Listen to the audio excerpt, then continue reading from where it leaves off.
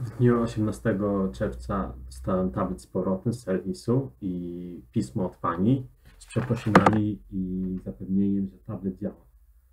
Tablet próbowałem podłączyć e, do telewizora w domu. Nie działał tak jak e, wcześniej.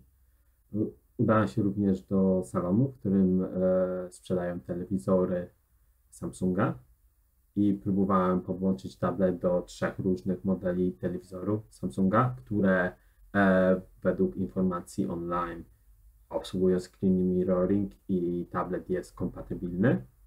E, jak widać na załączonym pliku, pliku wideo, e, tablet nie połączył się funkcją screen mirroring z żadnych, żadnym e, z telewizorów.